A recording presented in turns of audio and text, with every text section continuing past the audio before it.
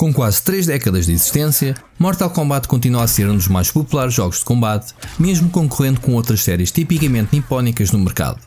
Ed Boon e a equipa da NetherRealms tentam superar-se a cada novo capítulo, e após o excelente reboot que marcou Mortal Kombat 9, a fasquia foi sempre colocada bem alta. Mas como é que se destaca este novo e sangrante capítulo da saga?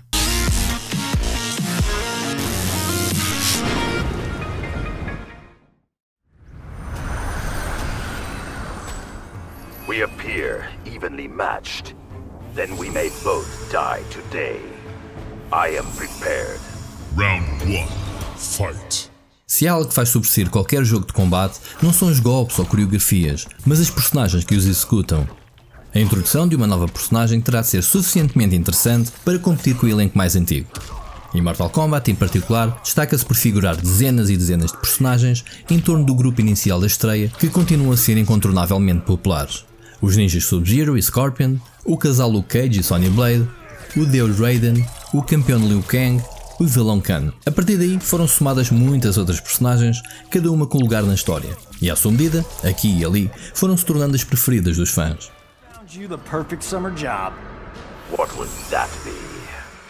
Human air conditioner. Round 1. Fight!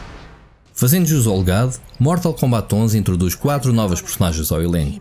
Uma delas em forma de boss, Crónica, a primeira boss feminina da série. Trata-se de uma poderosa manipuladora do tempo, introduzida na série como responsável por observar toda a linha temporal da série. Neste episódio, devido a alguns eventos, consequência do desfecho do jogo anterior, Crónica procura fazer reset à linha temporal e restabelecer o balanço do universo e a todo custo. Desta forma, a NetherRealms mantém a tradição recente de explorar a narrativa repleta de sequências animadas que transitam na perfeição com os combates, como se estivéssemos a ver um filme interativo, dando contexto aos embates de todas as personagens.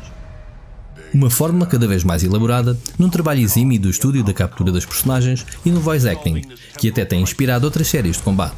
A duração da campanha roda às 6 e 8 horas, não sendo de todo difíceis os combates. O jogo introduz ainda três novas personagens jogáveis, Centurion é a filha da vilã crónica que utiliza poderes elementais e baseados na natureza.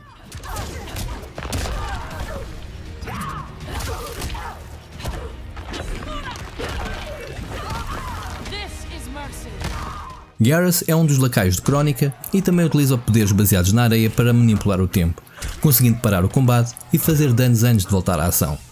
Pode ainda jogar a favor do cronómetro, retirando segundos ao tempo geral do combate, quando está em vantagem.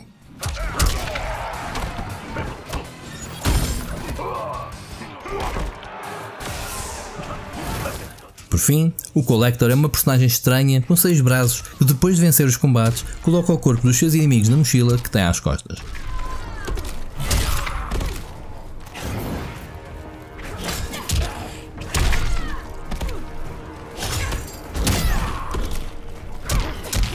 O certo é que a manipulação do tempo da vilã gerou choque de gerações, colocando versões novas e velhas das personagens que bem conhecemos, como por exemplo Johnny Cage, que encontra a sua versão mais nova e desbocada, longe de ainda ter conquistado Sonya Blade e ter a filha Casey Cage, que é outra das personagens de regresso. O choque de gerações é uma adição bem-vinda, oferecendo uma oportunidade de testemunhar como a série cresceu. No campo da jogabilidade, o estúdio procedeu a algumas afinações interessantes, chegando mesmo a simplificar, no bom sentido, a ação. Os famosos X-Rays, que eram uma espécie de finishers durante o combate, foram substituídos pelos Fatal Blows. Trata-se de um ataque em forma de combo poderoso e indefensável que apenas pode ser disputado uma vez por combate e quando a personagem tem muito pouca energia. Este ataque pode ser utilizado estrategicamente para garantir a vitória do turno. Há ainda dois medidores separados, um para ataques e defesas, que uma vez cheios podem ser utilizados para ampliar o dano e o ataque, ou no caso da defesa, fazer um escape ou regular. Todas as interações no cenário continuam a ser válidas e um dos pontos mais positivos deste jogo é que ensina mesmo o jogador a jogar com uma lista de ataques sempre acessível e até aquela finalização que pode ser consultada de imediato.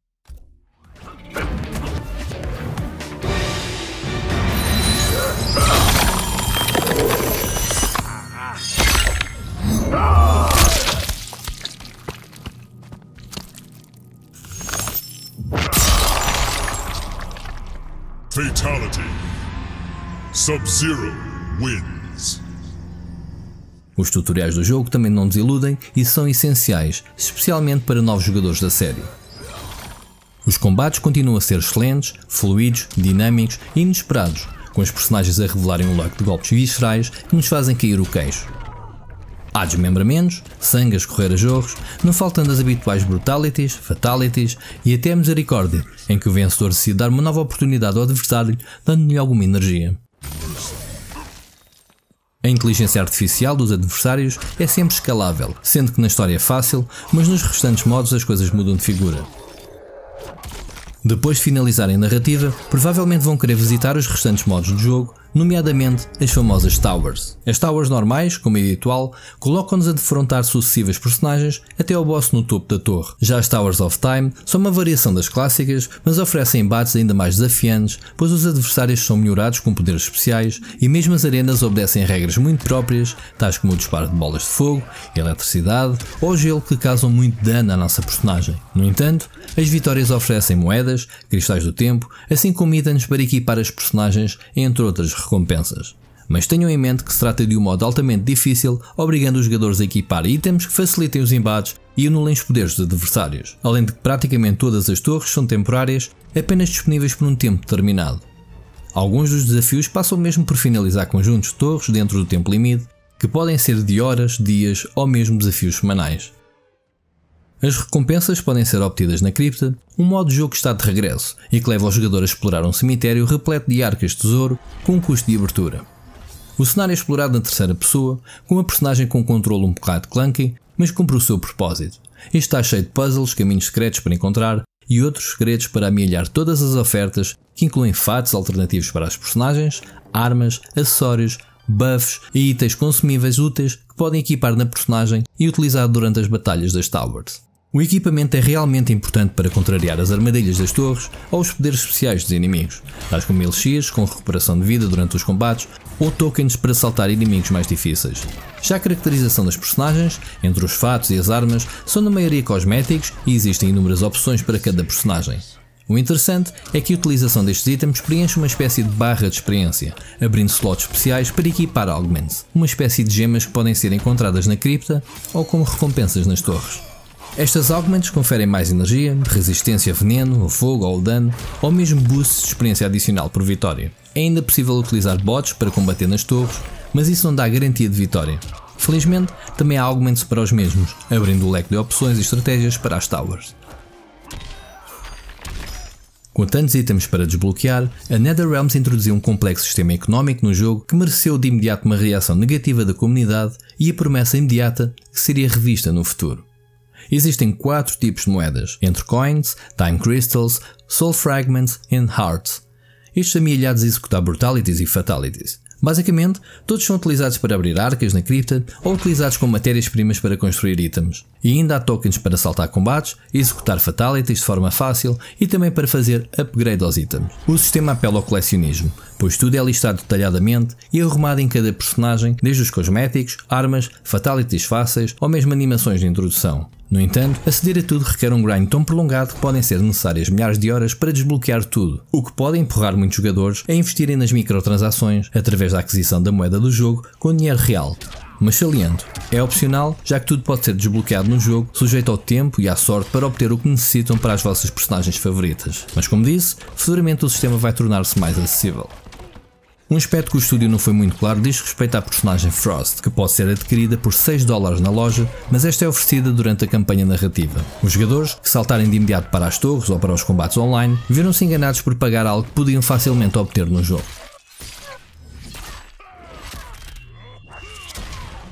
As batalhas multiplayer continuam a ser um dos pontos de excelência de Mortal Kombat, seja contra um amigo sentado ao lado ou nos embates online. Podem fazer combates rápidos, organizar torneios e até desafiar amigos com equipas controladas pela inteligência artificial. No que diz respeito ao combate online, há muito conteúdo para explorar com o Combat League, que ainda nem começou, mas há também batalhas para o rank, seguindo-se os modos casuais como o Versus ou King of the Hill.